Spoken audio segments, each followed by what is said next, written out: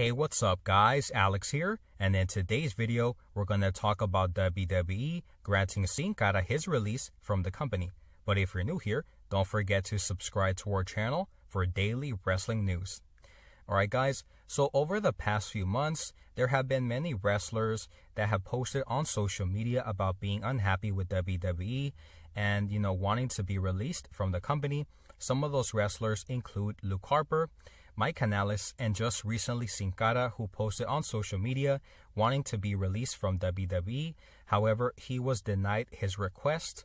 And in my opinion, guys, I really think that if WWE have many wrestlers and talents who feel unhappy with the company and they're not being utilized at all and basically being paid to stay home, then I don't see the problem in them, you know, granting them their release.